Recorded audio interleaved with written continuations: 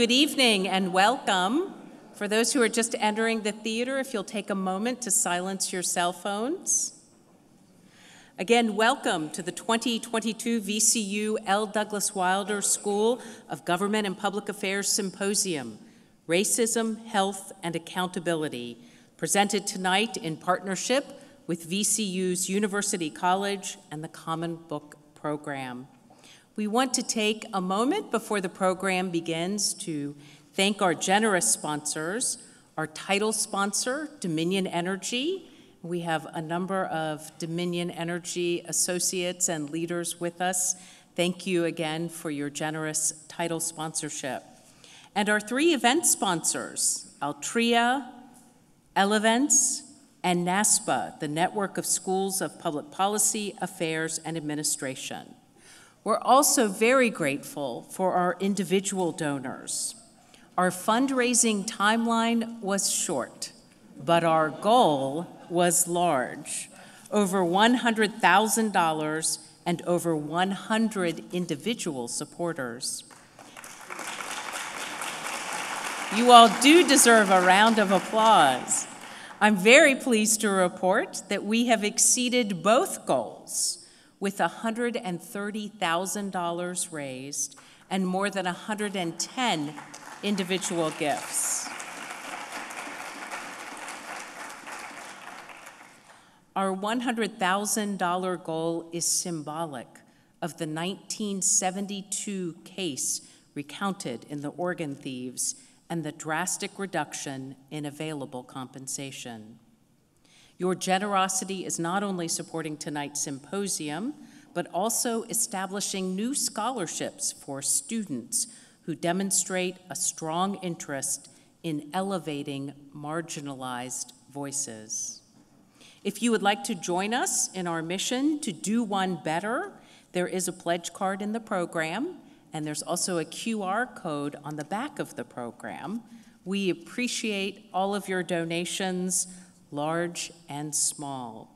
And now, to begin tonight's symposium discussion, we welcome Dr. Constance Relihan, Dean of the VCU University College. Dr. Relihan.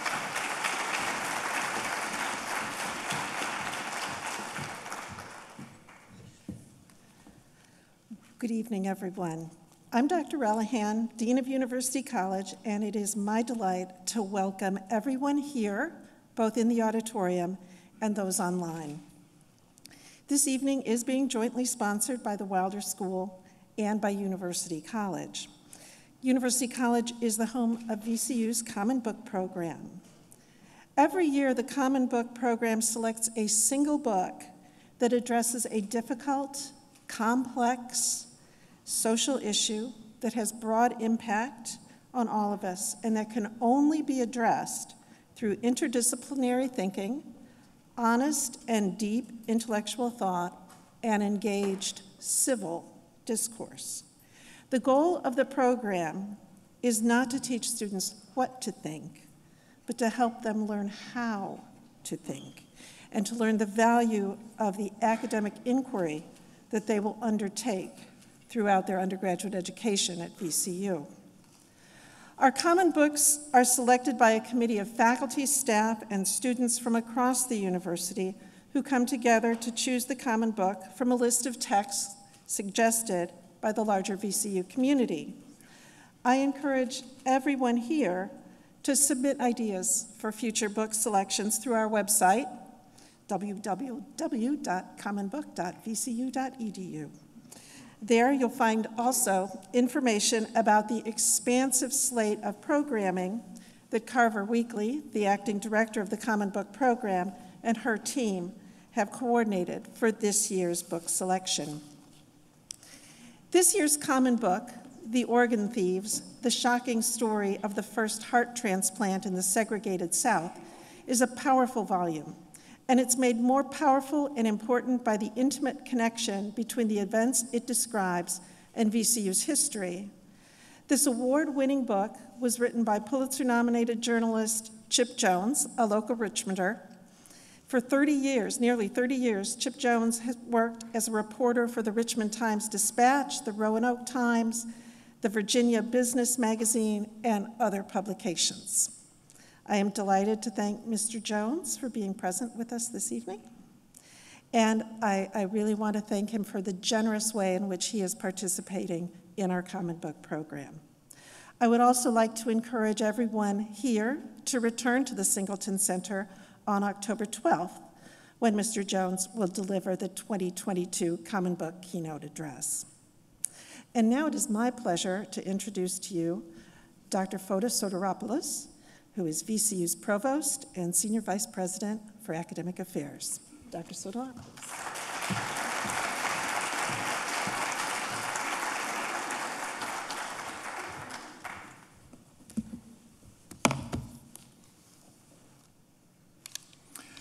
Thank you, Dean Relihan, and thank, thanks to all of you. It is my great honor to welcome you to this important symposium on a very painful part of our university's history. VCU President Michael Rao sends his deep regrets and asks that I read this letter on his behalf. Dear Governor Wilder, Dean Gooden, members of the VCU Board of Visitors, and guests, I am sorry that I cannot be with you tonight as I'm chairing a national meeting of the board of the American Council on Education. I wish I could join you all as you discuss the book Organ Thieves and the light it shines on past actions of VCU and the unimaginable failures in healthcare equity, as well as the importance of further advancing equity in healthcare. 54 years ago, the Medical College of Virginia performed our institution's first heart transplant, but without the knowledge or consent of Mr. Bruce Tucker, a black man whose heart was taken and transplanted into a white man. It was a failure in so many respects that neither Mr. Tucker or his family was aware or given the opportunity to consent, showing a lack of respect and compassion, which must both be priorities in healthcare for everyone. MCV's history, unfortunately, includes systematic mistreatment of people and communities of color, including the discovery of human remains in the East Mar uh, Marshall Street well in 1994. At that time, VCU did not afford the remains the respect they deserve. The egregious ways in which Mr. Tucker and his family were treated is not the only episode of biased treatment and exploitation that black and other minority patients and communities experienced and were subjected to in the institution's problematic past. Today, we take relevant and appropriate action, informed and shaped by community voice, to redress these mistakes of the past and reflect the society VCU works to advance. One in which people of all diverse backgrounds and experiences are afforded the dignity and respect that their humanity deserves. Last week, the VCU Health Board of Directors and VCU's Board of Visitors adopted an official apology and agreed to commission a plaque in Mr. Tucker's honor.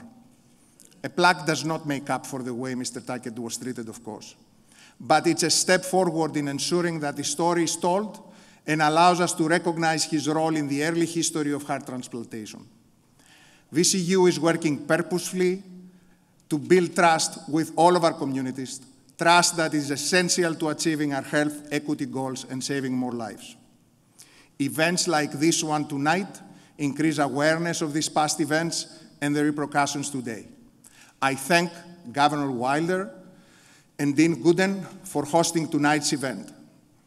Governor Wilder's effort, efforts in healthcare equity, including taking the Tucker family's case in an attempt to achieve justice, is just one aspect of his continuing legacy. In addition, the VCU Office of Health Equity will host its first annual Racial Equity Symposium exploring the connection of history and health equity on September 21st. We have also chosen Chip Jones's book about the transplanting of Mr. Tucker's heart, The Organ Thieves, as this year's VCU Common Book.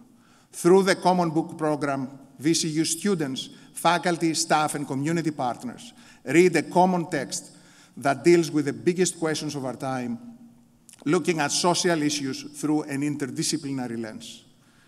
We'll welcome Mr. Jones to campus next month to discuss his work, and I think he may be present here today. Great to have you.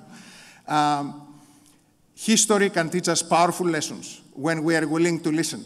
Our hope is to create a body of knowledge that generations to come can learn from and use to inform meaningful change. Sincerely, Michael Rao. I echo President Rao's comments and assure you that VCU and our Board of Visitors are indeed committed to acknowledging the university's history and moving forward with a strong commitment to diversity, equity, and inclusion in both the academic and health settings. I would like to take this opportunity to recognize members of the VCU Board of Visitors who are here with us tonight, our Rector Ben Dendy and Dr. Clifton Peay.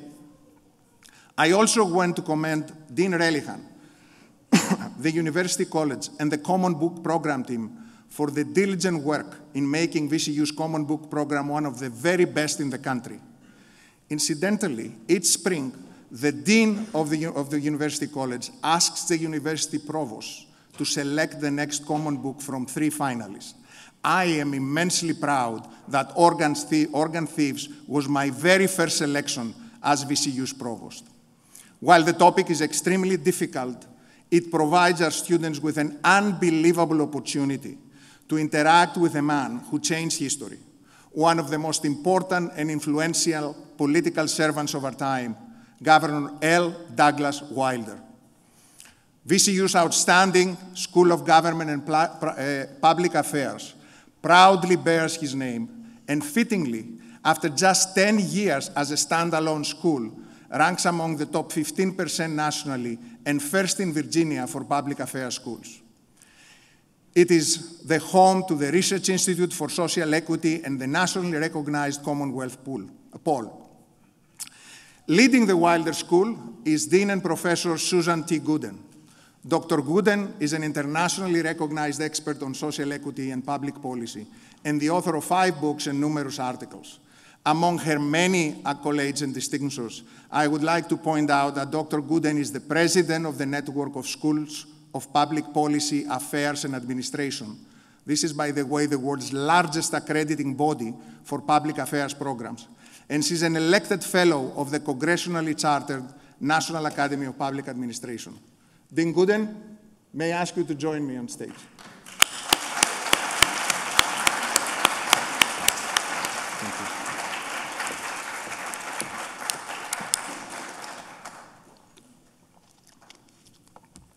So, it is now my distinct honor and privilege to introduce the man who needs no introduction, but nevertheless, uh, I would like to share some uh, uh, remarks about Governor Douglas Wilder.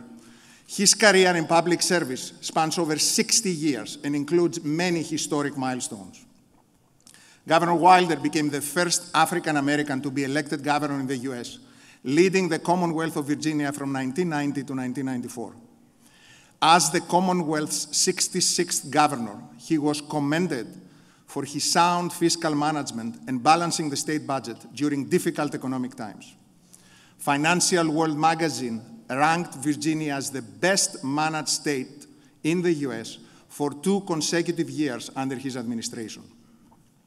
Governor Wilder's commitment to service began when he served in the United States Army during the Korean War, where he earned the Bronze Star for heroism in ground combat.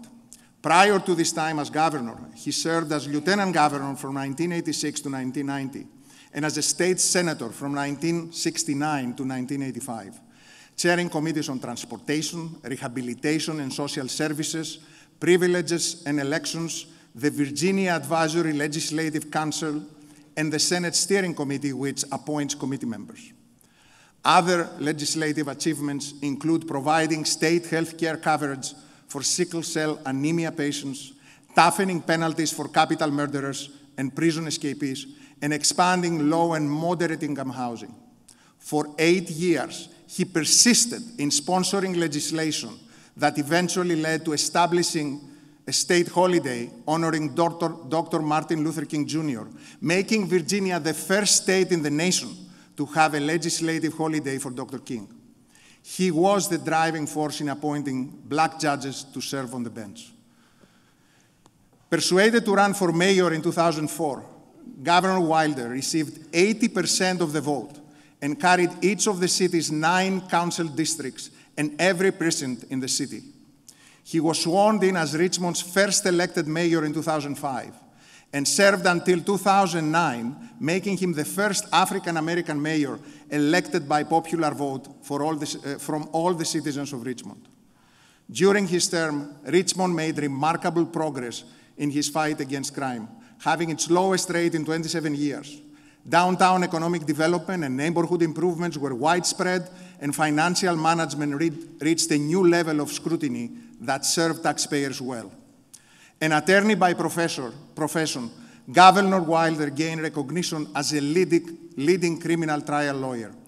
He graduated from Howard University Law School in 1959 and later established the legal firm that became known as Wilder, Gregory and Associates, one of the few minority-owned businesses in Virginia at the time.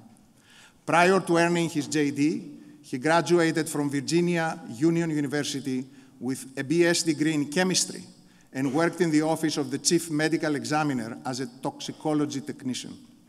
At present, Governor Wilder is a distinguished professor at Virginia Commonwealth University's L. Douglas Wilder School of Government and Public Affairs, where he lectures and hosts symposia, including Race in Academia and the Triple Pandemic. He's also the author of Son of Virginia, A Lifetime, A Life in America's Political Arena, published by Lyons Press. In recent years, he has served as the keynote speaker for the 50th anniversary of the Kerner Commission Report National Conference, held at the University of Minnesota, and the University of Richmond's Law Symposium, the 50th anniversary of the Fair Housing Act, past, present, and future. Governor Wilder continues to be a champion of people and causes. He's still a highly involved, highly dedicated citizen of the city, and he, that he has called home for most of his life and one of its best and most outspoken ambassadors.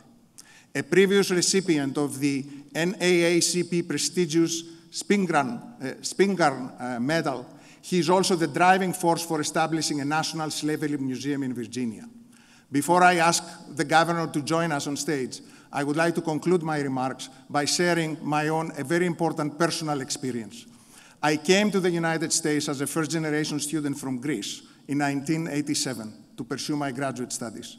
I clearly remember reading Gov about Governor Wilder's election as the first black governor of Virginia, of, of uh, Governor of Virginia, the very first in the United States. This story was inspirational and highly motivational for me. It gave me strength and courage to pursue through my career, as I'm sure he has done with his example uh, to, for countless people, and he will continue to be doing uh, uh, for years ahead without any further, so for me, it's, a, it's a, the honor of a lifetime to stand here and have the opportunity to welcome Governor Wilder to the stage. Governor Wilder.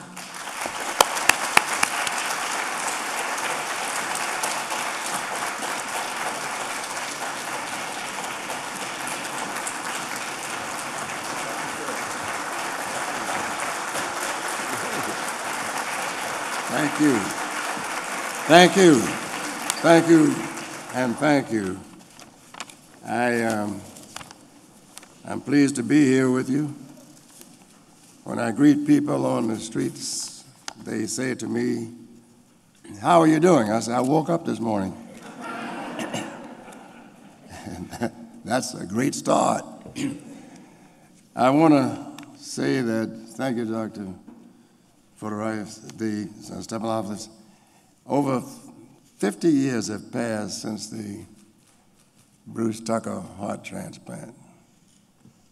In 1968, occasioned at the Medical College of Virginia.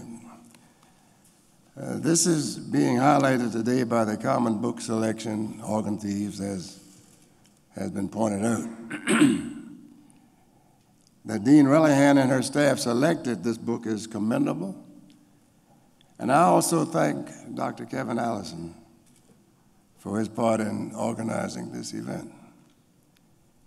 The title of the book suggests what many of the jurors thought during the trial, as well as what the judge was wrestling with throughout as he consistently asked questions of the, the defense attorney. The author, Chip Jones, called it as he saw what was factually reflected. And he and his wife are with us this evening, and we welcome them. Are they where we would have them stand so we can recognize?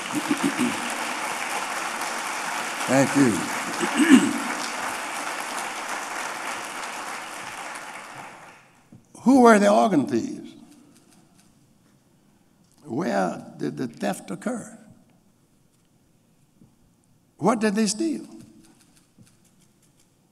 VCU, then MCV, never, ever made the slightest semblance of an apology or an acknowledgement of their participation in wrongdoing. Yet just a few days ago, I read something that said they were sorry it happened.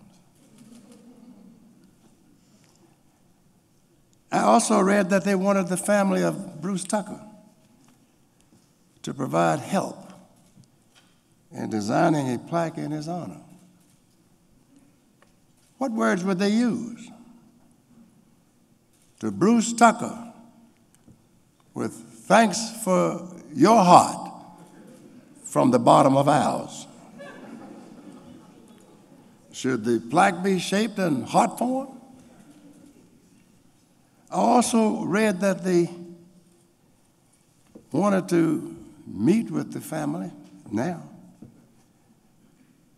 But I read about this a few days ago with simple courtesy. And I appreciate all the nice things that were said to me, Doctor, by you. But wouldn't simple courtesy and uh, some degree of respect allow VCU to notify the person they know to be most connected with that case more so than anyone else? Me? Or did they have the same difficulty locating me right on this campus as they did locating the family of Bruce Tucker?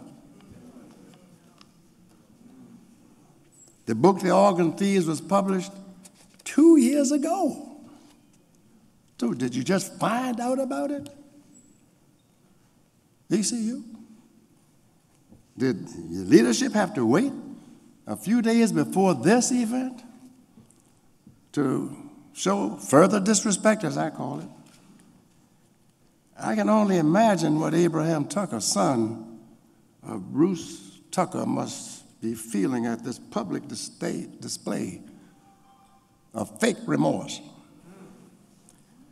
This symposium is designed to bring reality to the need for research and the improving of social equity. Questions arise as to what is being now, what is being done, not talked about. What is being done now to address the continuing issues of race and racism by the present leadership at VCU? What has the leadership at VCU demonstrated as an apology for this barbaric act of racism and the continuance thereof? What? I, will wait, but I'll be waiting in vain. Does it address the, does it meet with the gatherings of the black alumni at VCU to ascertain their concerns? Does it address the issues raised by the Black Education Association of VCU to help them? The answer to both questions is no. As we pointed out at our last symposium in October 2018, why is there a 150% turnover in black faculty here at VCU? Why is VCU's recruiting of black students in Virginia at such low levels? Why does the Commonwealth of Virginia continue to allow the desecration of the oldest black church in Virginia, one of the oldest in the world, at 14th and Broad Streets, First African Baptist Church? My church, my father's church, his slave father's church, rather than to turn it over to Virginia Union University for proper preservation and historical purposes. The late Vice Rector of the Board of Visitors and my good friend, Tom Farrell, and I agreed that this was the right thing and would be the right thing to do. The president of VCU did not agree. It is still being defiled as we speak. Why are those responsible for the administration allowing tuition increasing increases despite the pleas of the students? And many of us heard them. One young lady spoke to the board with the president there, and provost in attendance, saying, You're raising tuition. I'm having the most difficult time getting one meal a day, much less three a day. I can't cut it. I can't make it. Why am I bringing these issues forth at this time? Oh, Wilder, you ought to be happy. You know, you're here, we've got a school name for you, and we're saying all these nice things about you. And uh, I never needed anybody to say nice things about me. And I don't feed on that.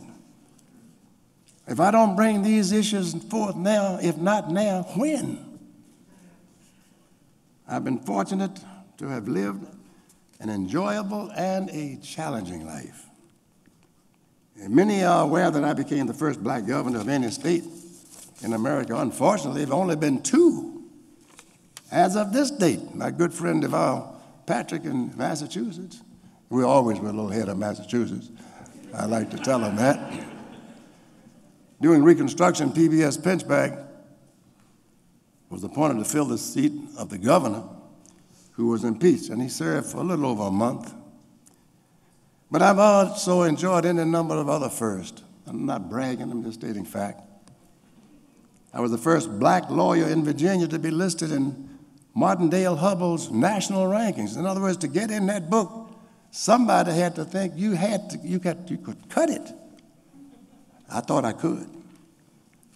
I was the first black member of the Virginia Trial Lawyers Association in Virginia, the first. I founded the first integrated law firm in Virginia. And I was the only black member, founder of the Richmond Criminal Bar. Now, I cite these things not out of vainglorious psyche, but to show personal advancement for me has always been connected to the advancement of those less fortunate. I don't think these things were occasioned because I was flamboyant, as referenced in the book. I just might have been able to cut it. Bruce Tucker was among those whom I've always tried to be connected with, as our lives are inadvertently connected. When his brother William Tucker contacted me, my only thought was that I had no choice but to adhere to my inner callings, framed by the rich prodigality of parental guidance and upbringing, and the commitment to the uplift of those less fortunate.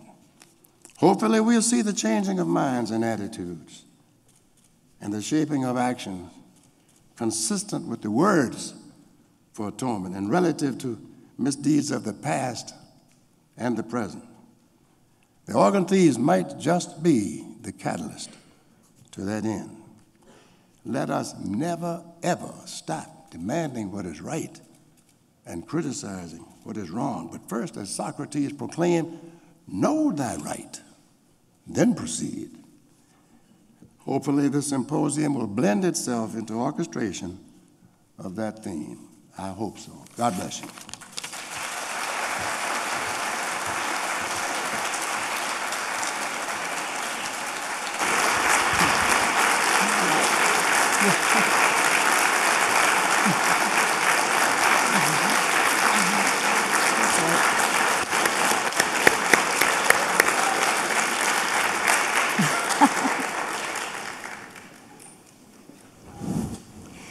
Thank you so much, Governor. You have certainly, as always, set the stage and got us right to the core of the issues relative to racism and accountability, which is the focus of our discussion this evening. As we talk about the book, and I want to say we will be taking questions uh, from the audience, so I think there are baskets here. If you have questions, to please submit them. We will get to them a, a bit later. And uh, we're also uh, know we're joined by several hundreds of folks uh, on live stream as well. But I wanted to set the stage for this a bit. Um, May 25th, 1968, and I know the author talks about this was about five to six weeks after King had been assassinated at the Lorraine Motel in Memphis on April the 4th. The Civil Rights Act of 1964 and 1968 had already passed, so many of the things that we think about terms of Selma, Bloody Sunday, all of those things had already transpired.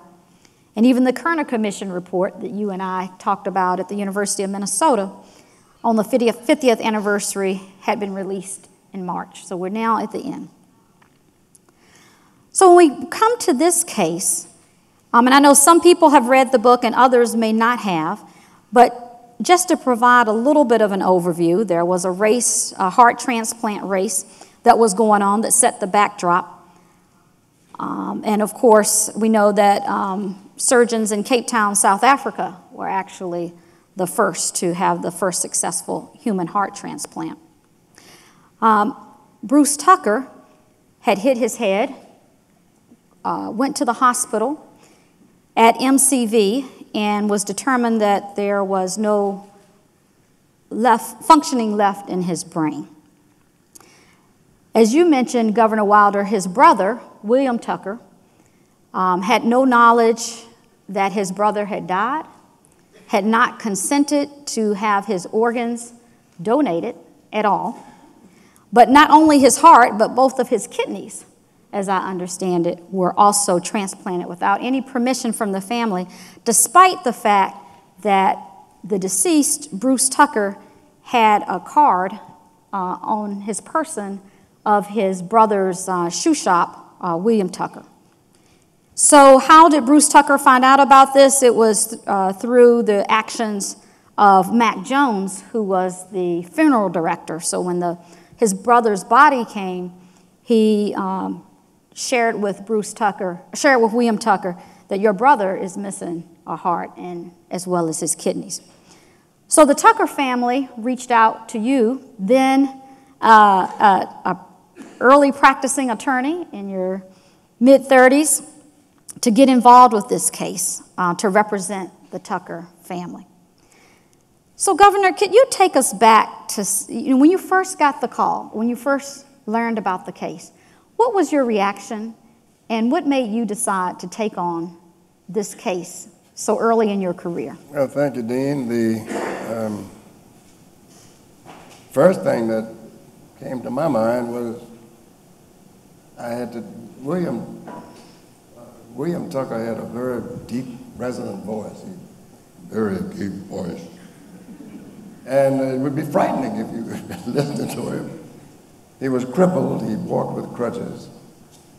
And he called, he wanted to make an appointment to see me, and he did. Came in. And he told me that uh, his brother didn't have heart in his body, was taken at VCU. I said, listen, man, I do not have time to fool around. I got to make a living.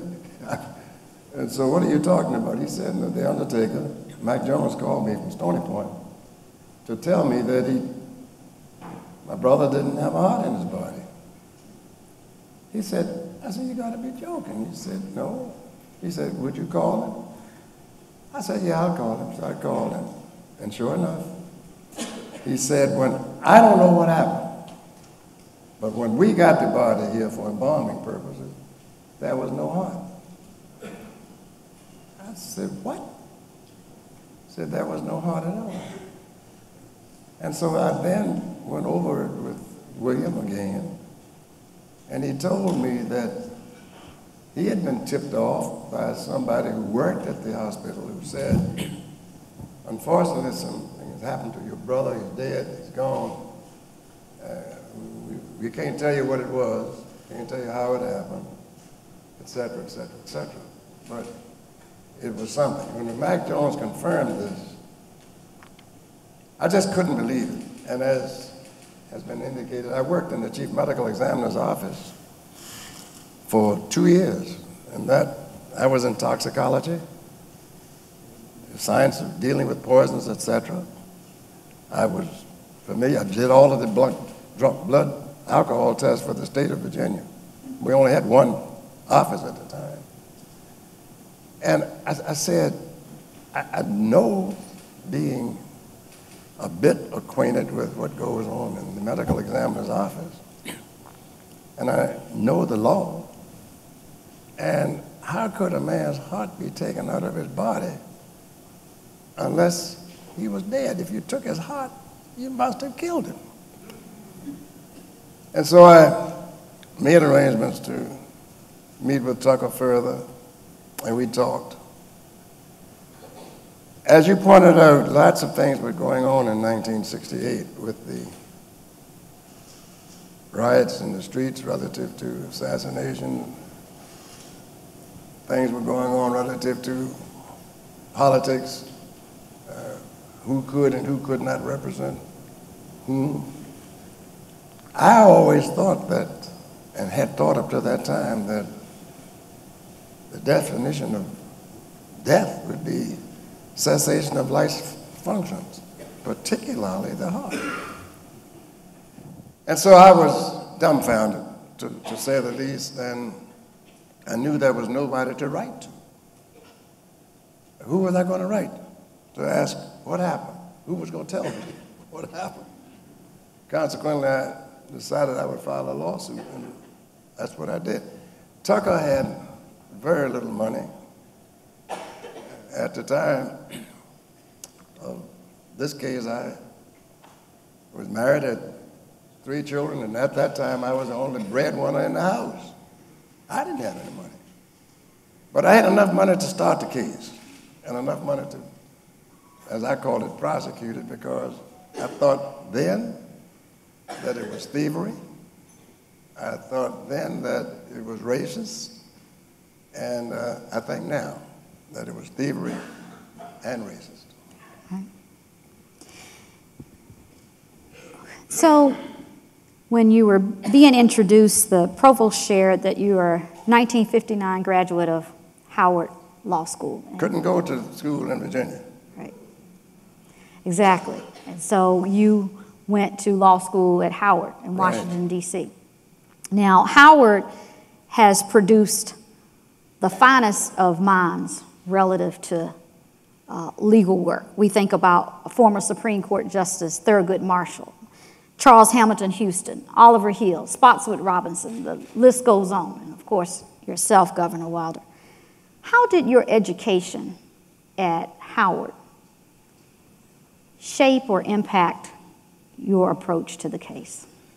When Thurgood Marshall founded the law school at Howard University at the direction of President Mordecai Johnson, it was with the understanding that these lawyers were to go into their communities, go back to your communities and provide the leadership, go back to your communities and give what is not there, give back the upward lifting, lifting and the light. Open doors that have been closed.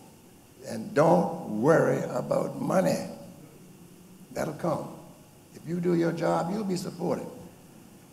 And so that's stuck with those of us uh, to do that. When I finished law school, uh, I couldn't take, at the time when I took the bar, if, if, if you passed the bar in Virginia, it would be one black person a year, hmm. if you were lucky. and I didn't have the money to go to a bar reviews course, to take its course. But I was fortunate enough, to or fifteen dollars, that I was able to make it.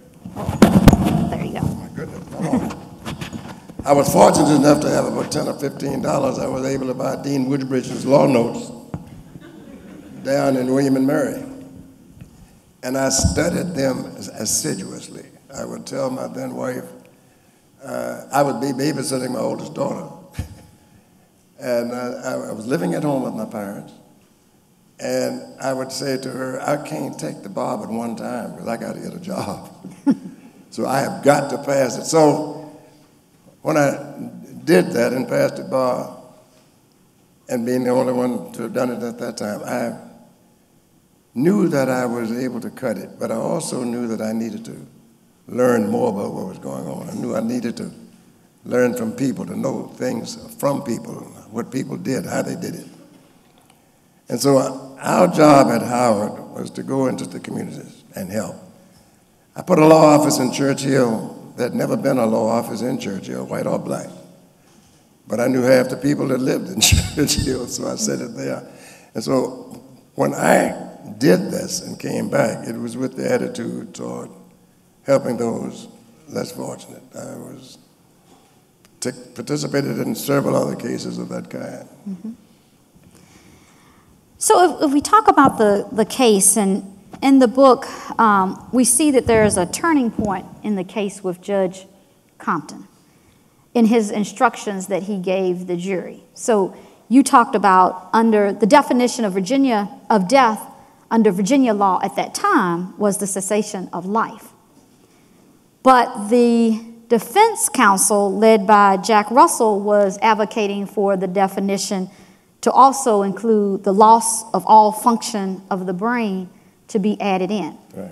Now, originally, Judge Compton's instructions to the jury were to go by and to abide by Virginia, Virginia law. law. But then he reversed himself on the last day of the trial.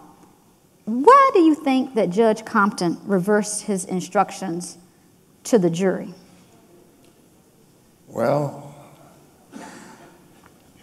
I think he was torn between doing what he thought was right and doing what could be furthering of the definition. I think he knew that if there were going to be brain death as determining death, period, I think he knew that that wasn't the present law. Mm-hmm. And yet I think he wanted to keep the doors open to make certain that Virginia could at least be a part of contributing to that. During the trial, as the author has pointed out, it just so happened that all of the heart transplant surgeons in the world were meeting at Virginia Commonwealth, MCV. It just so happened that people from Stanford and other places in California happened to be coming to Virginia for this meeting, which means all of these people were witnesses. Mm-hmm. I had no witness, not a single witness. What could I put that person on the stand to say? Nothing. And so I think Judge Compton, and he and I were relatively the same age, and we were starting out practice together. I've always respected him. Matter of fact, when I was sworn in as Lieutenant Governor of Virginia, I asked him to swear me in. He was most proud to do it. I went to his funeral. And so I know in his heart, there we go again. he was torn. He was really torn. And I don't think he talked about it after that. He kept notes, but he never, ever talked about the case. I never talked about it much myself because I was besieged by people and uh, some Japanese surgeons and others wanting to do something in that regard, and I didn't want to have anything to say that guide them one way or the other, and I knew it wouldn't help Bruce Tucker.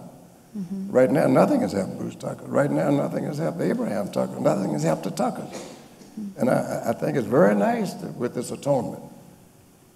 But that still bothers me. And I think that there are people who Today, recognize that as much as we advance in, the, in society, as much as we do the kinds of things we do, unless we commit ourselves to re- reading race and racism from our society, we're going to have trouble.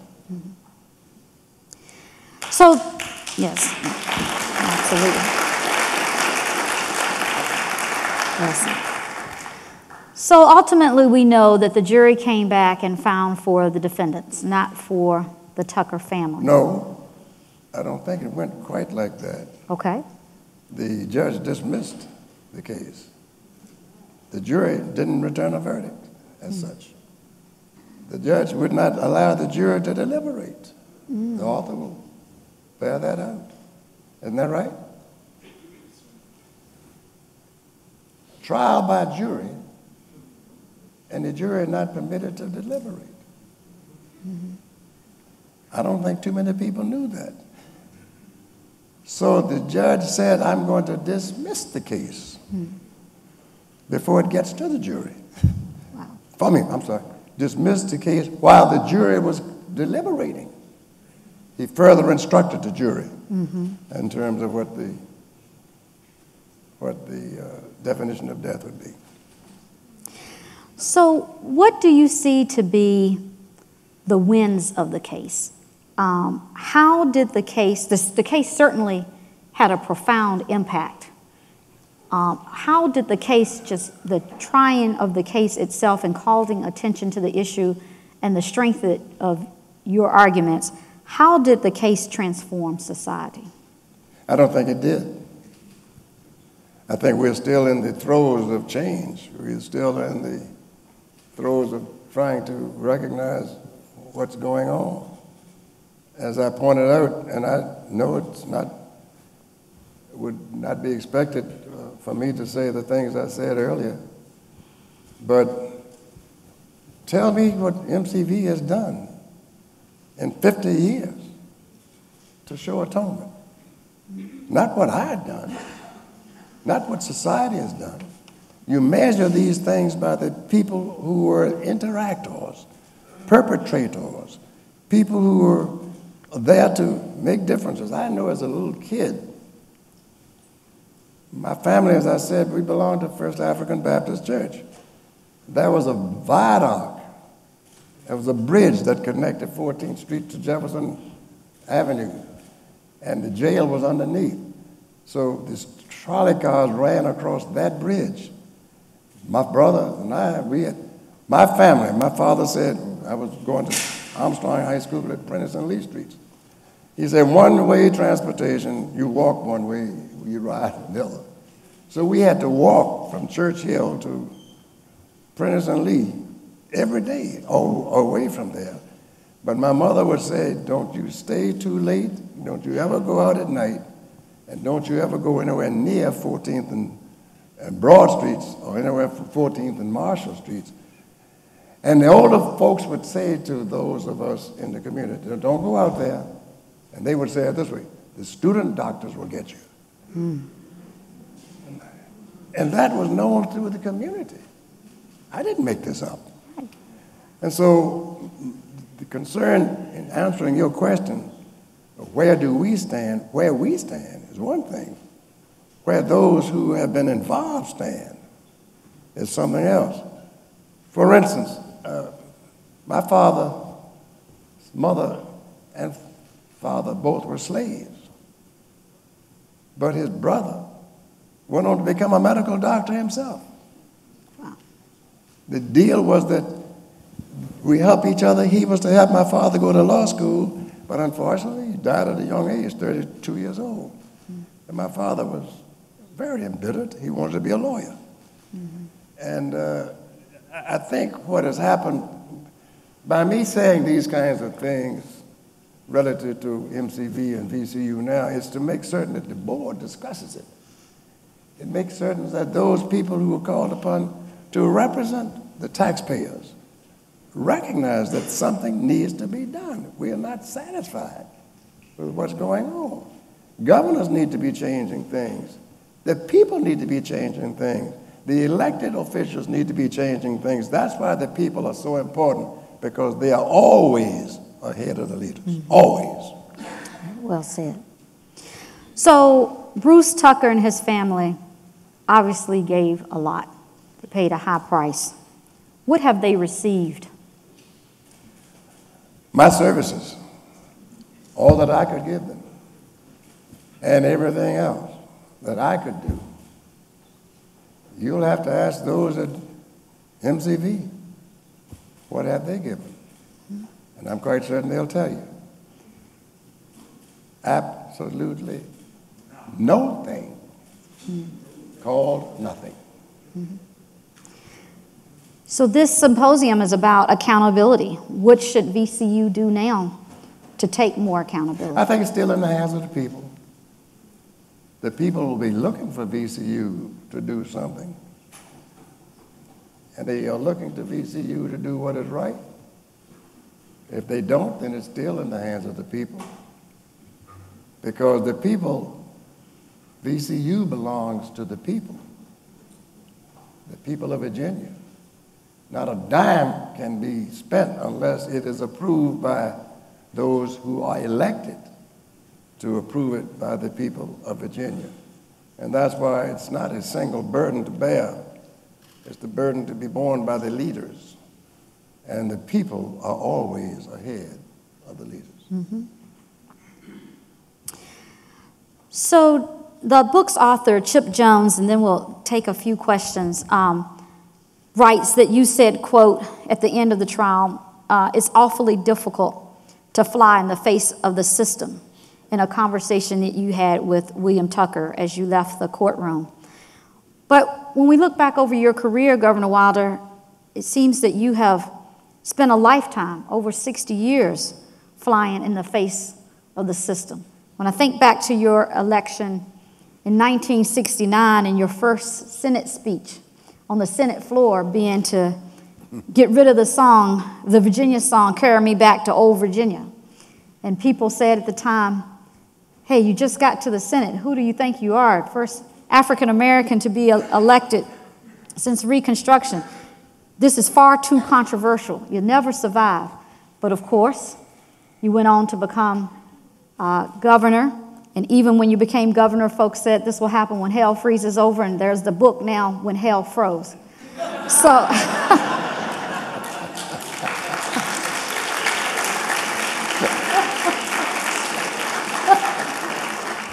So, we all owe you a debt that cannot be paid in terms of your service to Virginia and the United States, but you've flown in the face of the system and had many uh, victories. How do you characterize uh, what are some of the most effective strategies in terms of taking on a system? Well, nothing is ever accomplished by an individual. I never accomplished anything singularly or by myself. As you pointed out, I was sent to Korea to fight for the freedoms of Koreans. And while I remember so vividly when I first landed in Korea, we went before the battalion commander, a man named Akoff, who ultimately became the commander superintendent at VMI. And he told us, he said, uh, I want you to serve here and do whatever it is you need to do as it relates to what you're going to be called upon. He said, if you run into difficulties, you let me know. Don't you try to handle it. And you do your part, and I'll do mine. Well, got to Korea. All of the promotions were going to the white guys. Uh, people that I had trained were made corporals and sergeants, et cetera, et cetera. And so we started grousing, grousing about it, getting upset about it, being mad about it. And uh, so we met. I had a sergeant who told me, he said, let's get the guys together. We marched down to see the colonel, since he told us about this, Major Elkoff, he was major then. Since he told us this, let's march him down. We put on steel pot helmets, two bandoliers of ammunition, bayonets, got them all together. We marched down, and everybody the night before was telling everything in the world that happened to them. So we got to the major. The major was so shook to see us there. And we marched everybody, and all of us black, steel pot helmets, and armed to the teeth. Said, good God have mercy, what is going on? So we got there, and uh, I told the guys, I said, now go ahead and tell the major what, you know, we were talking about last night. Would you tell the major what we talked about last night? My God, man, talk. They wouldn't say anything too much. I said, Well, Major, let me just tell you this. And I went on to tell him what I had to say. Once I started, they took it over too. They started talking. The Major said, Tell you what I want you to do. You go back to your outfits. You do what I told you to do at first. You do your part. I'm going to do mine. Within 30 days, promotion started taking place. He did his part. He was saying, I'm not going to preside over what the law says should be done and it's wrong. So when you ask me the things that I did, very little comes by individual pursuit. People work and help each other, and I was helped by so many other people. I was given inspiration at that time that if I believed in the system, the system could work, and we could make it work. Mm-hmm. Great. Well said. Well, we'll now turn to some questions, and um, I know that we'll, uh, there are several questions from the audience, but we allowed students as part of the Commonwealth um, Book Club uh, to, uh, to also share with uh, us some questions. So the first question is a personal one, and it says, how significant, Governor Wilder, was this case to your own practice and career, and how did people in Richmond respond after the result? Well, the people look to leadership, and unfortunately, sometimes we believe that there's collative effort in, in terms of black people working together, whites working against you. Uh, I ran for office, uh, state senate, uh, as you pointed out. I was not supported by the leadership of the black community at that time. I didn't pay any attention to it because I was supported by the people, mm-hmm. and I knew the people wanted me. You talk about the state song, Carry Me Back to Old Virginia. That's where this old darkest heart am long to go. We were called upon to sing that. Stand up and sing it in the state legislature, of all places around the state every time you had a gathering of people. And so when I said what I had to say about it, you'd be surprised at some of the people that said, we didn't send him down there to talk about some song. They didn't send me anywhere because they didn't even live where I was elected. I would get it passed in the Senate, and the House would kill it. I would get the bill passed in the House, and the Senate, the governor vetoed it. It had two governor's vetoes on it. And I finally, eventually got it passed. But let me tell you, in getting it passed, people who voted against it turned around and started voting for it, started being patrons on the bill. So I get a whole lot of credit for things that I've done, but I've never done anything by myself. I've always had help from a whole bunch of people, some that I never even had, had an opportunity to thank. So it's a collective thing, it's a people thing. I've always thought the people of Virginia were better than that, as I think the people of Virginia were better than what happened to Bruce Tucker in 1954. Another question um, that we have from another student is in your view, was there any shared liability that might have been placed upon the police department for its failure to locate the family of Mr. Tucker? I never thought of it that way. I thought that they did what usually you do. You get an address, you go to it. Um, they weren't participating in the removal of the heart. Mm-hmm. Uh, they didn't even know why he, perhaps he was being contacted. And so they said, well, it was something I never put in the blame on the police. I, put the blame where it belonged, the people who took the heart, mm-hmm. because they knew exactly what they were going to be doing. And um, it was unfortunate, but no, I don't blame the police. Okay, right. Another question uh, a student asked how does race and ethnicity play, how did it play a role in the case and in complex ethical issues? Well, I never read of anybody taking a white heart and not contacting the, people that need to be contacted. I stand to be corrected, but I'm grateful to, to correct it. Uh, the bones that were found, disconnected, no one knew whose bodies they were, who they belonged to. Uh, I, I think some of those bones may have been white bones, but they may have been, unfortunately, not a part of the system. And as you and I have talked about on so many occasions, uh, power and money is power. And uh, I think it's very unfortunate that that continues so to be the case. So another student asked, one of the most egregious aspects of this case seems to be that MCV never notified the Tucker family, even after his death. Um, did the defense ever offer a reason or rationale for this failure? Did, The who offered- defense, the defense. No. Why do you have to do that? After all, he was a black man. At the time, and the author points it out, you're lucky to have a black person in the jury. If you've got one black person in your jury, you're lucky. Why would you strike him? Strike him because he's black. You don't have to tell him. Tell anybody because you have three what they call peremptory strikes. As a lawyer, each side has three.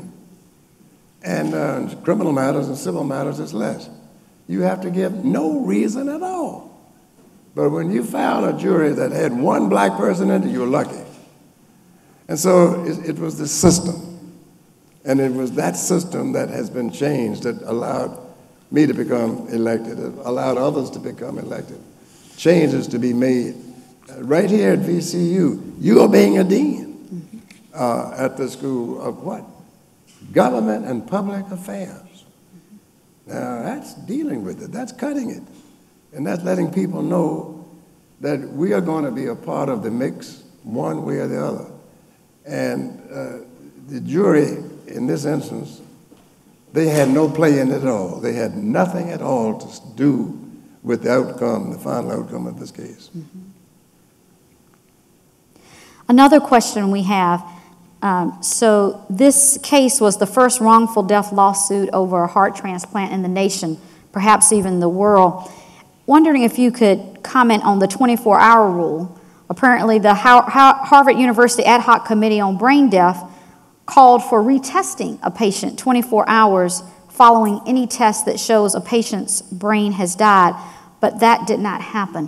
Why was that not followed, and why was that not uh, considered? My thinking was that it would not further the purposes of what was intended. And that was that they needed a heart. Would you think somebody was going to do a 24 hour rerun? No. Guess what? We got one. Let's start it. Let's get it did. and so I know it sounds harsh for me to say this now in terms of uh, not being kinder. I'm not speaking to the current administration at VCU as to what happened then. What I'm saying and charging the current administration with is understanding that there has been that participation in wrong by VCU. And to that extent, there's an overburden of responsibility to correct it by showing that there's something more than just help us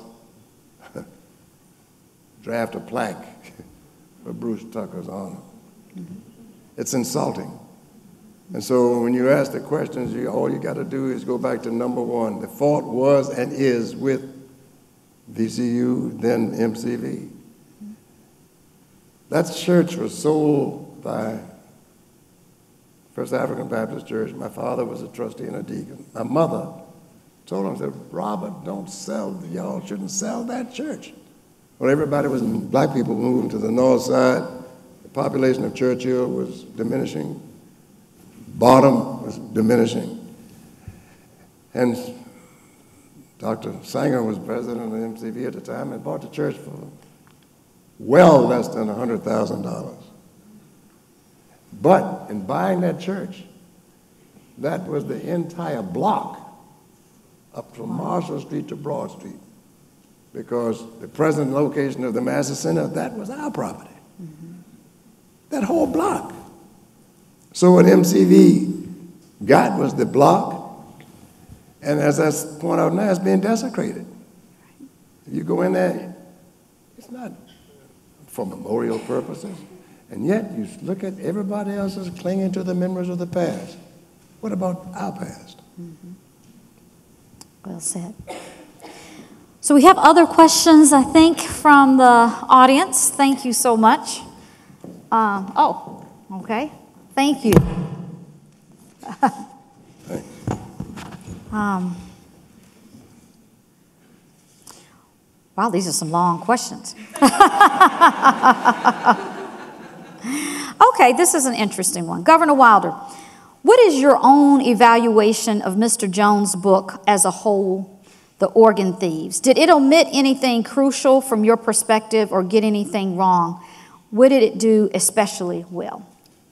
I thought it was a good book. Uh, I think it is a good book. And I think the author did it in a fashion to be factual and to project what was and what is uh, to be determined from what took place. I was fascinated by the title, The Organ Thieves. to even say that, you have concluded that something was stolen.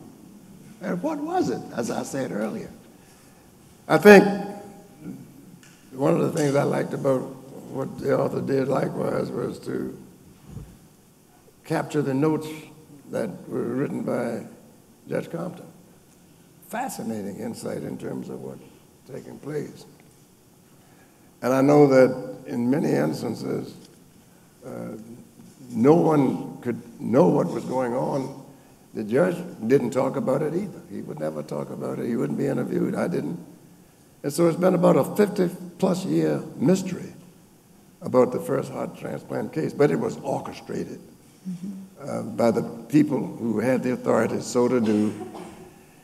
And unfortunately, there was only one verdict they could arrive at after the judge's dismissal of the, uh, of the case. So we have a question about that. Uh, someone asked, was the judge's decision to dismiss the case, do you consider that to be legal at that time? oh, it was, oh, you mean at the time? Mm-hmm. No, of course not. I didn't have the money for appeal, and I don't. I wouldn't have won it on appeal anyway. Uh, why, why not? Why do you say you wouldn't have? The won? system was still in place, mm-hmm. and had some very good people on the bench. I'm not calling anybody anything but I wouldn't have won it on appeal. and I, I, can say also that uh, it just militated against progress. Uh, baby steps, short steps at a time, but the book was well written, well, well chronicled, and uh, didn't cut anybody any favors or do anything other than tell it like it is. And uh, he's to be commended for it. I think it's a good book.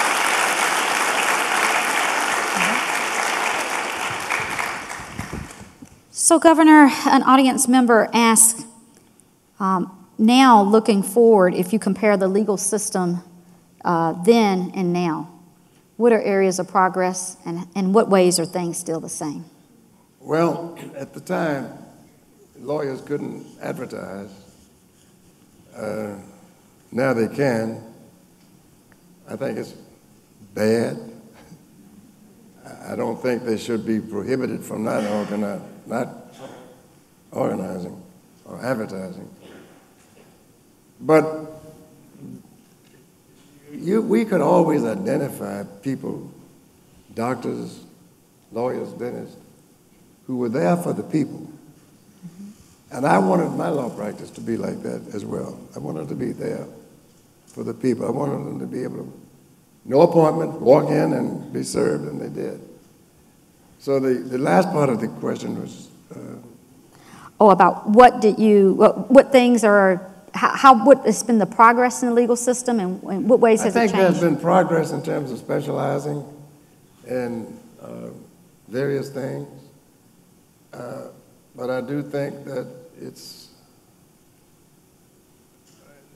and I don't criticize anybody for wanting to make a living.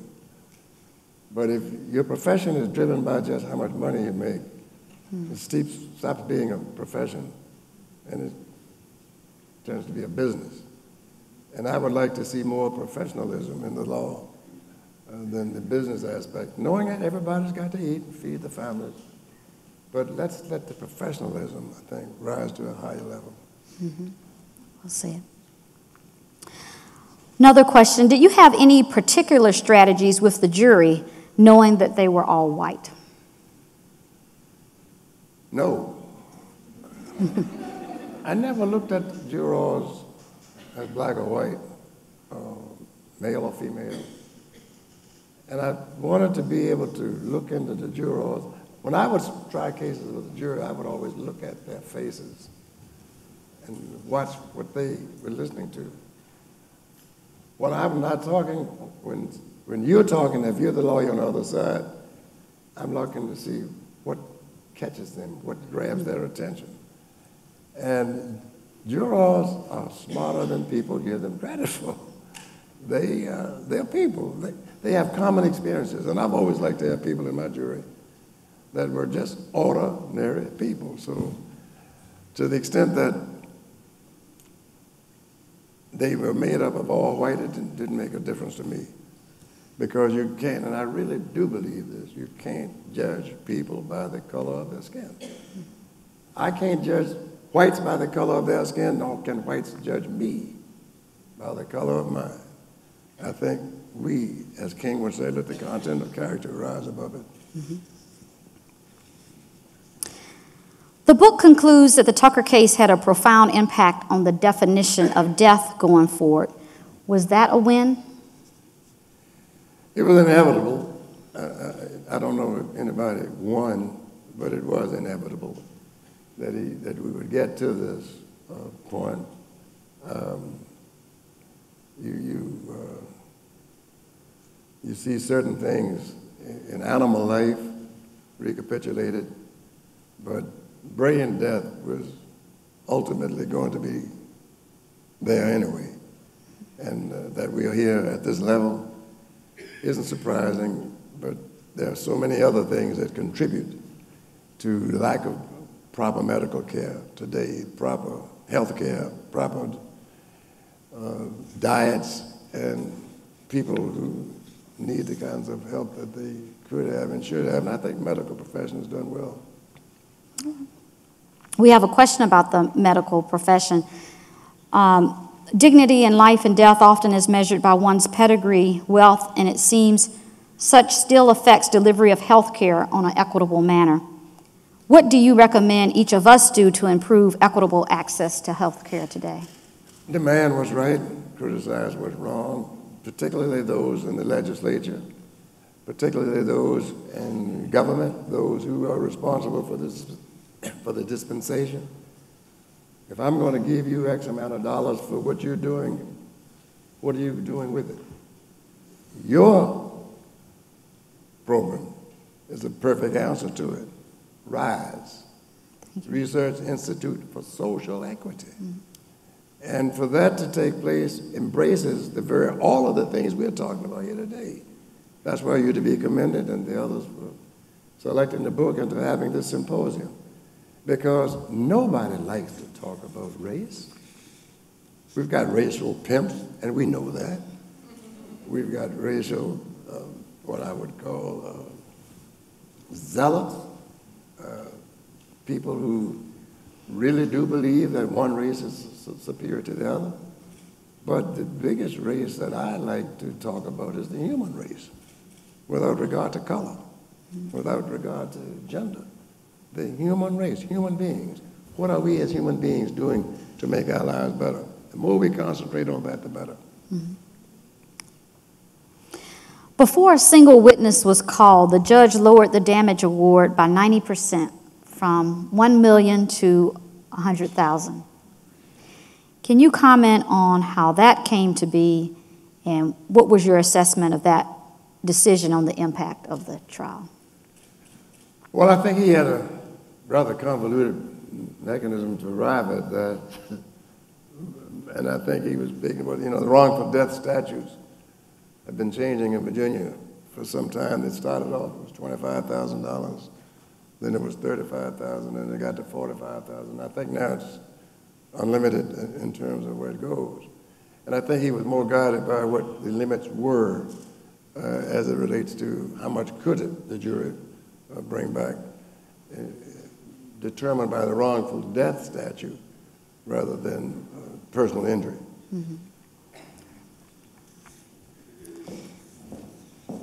Oh, here we go.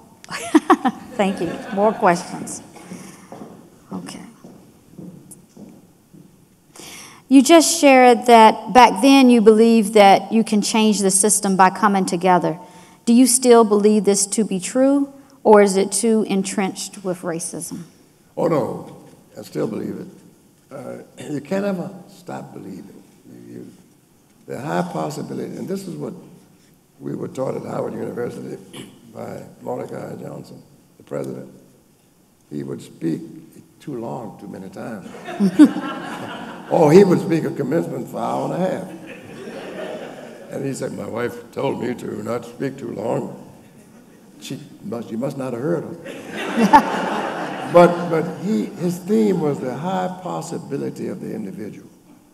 And he never, never, ever believed that there was not something good in people and that it was our responsibility as human beings and humankind to work to bring that about to the extent that people were less educated, lend our talents to help them to the extent that they don't have the access to kinds of things that some of us would have, help in that regard as well.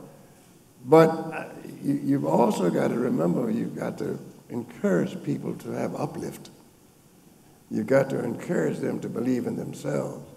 You cannot allow people to believe that war is, war is, all of us go catch hell. And I used to hear that so much as a kid. What are you talking about? I don't know what you.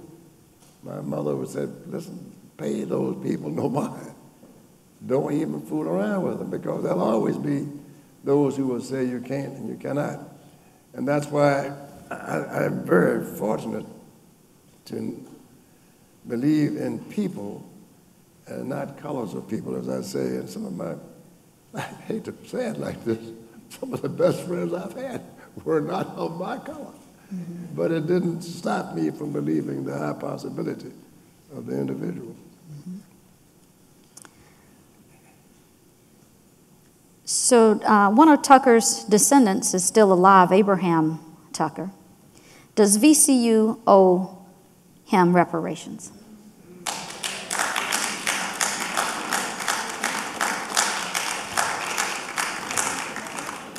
Well, I put it this way. If you steal something that doesn't belong to you, and you are caught doing that, if a judge were deciding the issue, the judge would say, then why should I not hold you further guilty. What do you propose to do? Can you give that back what you stole? Oh, no, I, I can't do it because I, I, it's gone.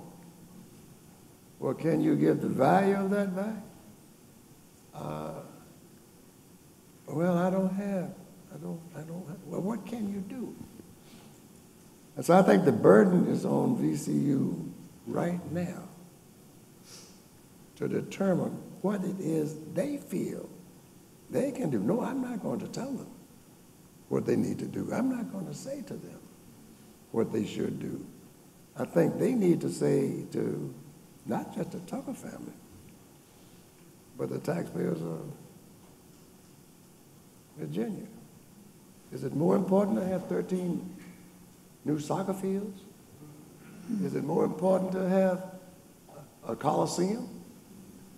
Is it more important to have new baseball or football fields?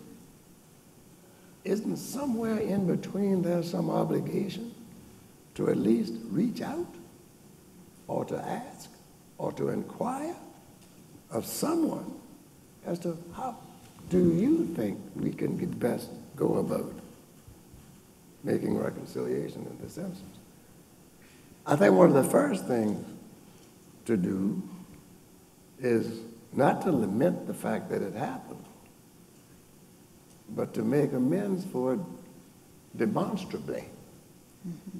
And that means the, that jury is still out. Well, I think we have time for um, one final question. And this question really asks about your um, reflection on the Tucker case now, more than 50 years later. Where does this case rank in terms of the cases that you tried? Did you find this to be the most difficult, the most challenging? When you think back to this case today, what do you think? Well, it was one of the most celebrated cases, but you know, I've had some I've had some tough cases. I've had uh, some criminal cases that I don't even want to talk about. I see my good friend Walter McFarlane sitting over there, and he was my lawyer when I was the governor. And he can tell you that death penalty cases ever come up. And for me to have to pass judgment as to whether the verdicts should be carried forth. And the only two people that talked about that were he and I. And that, there's some very, that to me was one of the more difficult times that I've had as a governor or as an individual, passing judgment on someone's life. That was what happened with VCU, they passed judgment on Bruce Tucker's life. Whether it was premature or not, that jury is still out. Thank you so much, Governor. You have provided remarkable insights and wisdom, not only into this case, but to issues of equity and fairness for all time. Well, let me thank all of you for being here, and particularly the students, and those of you continuing to support our splendid dean. As she points out, we travel a lot. My good friend, the rector, Ben Dent, is here. And the things that I say critical of VCU heartfelt, but not mean-spirited. To the extent that we could talk, work, and blend together in orchestration to fulfillment of the uplift is what I'm more interested in than anything else. Thank you for being here, and God bless you. Thank you. Thank you, Governor. Thank you so much, Governor.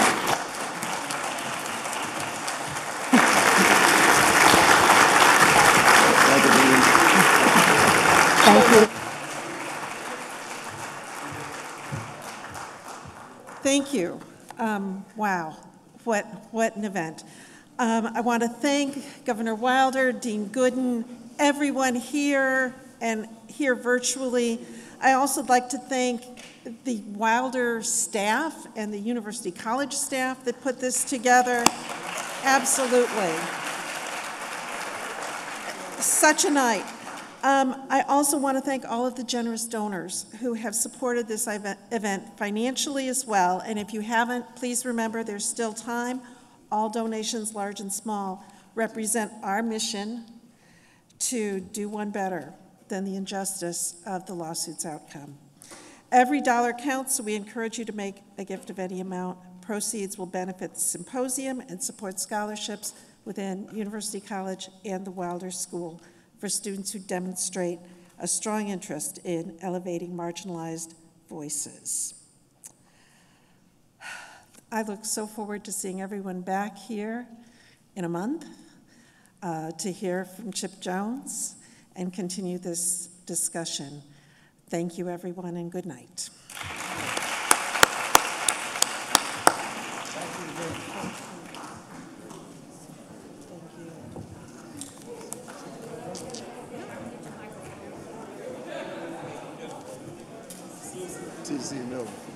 Oh, yeah. He's a Martinsville person.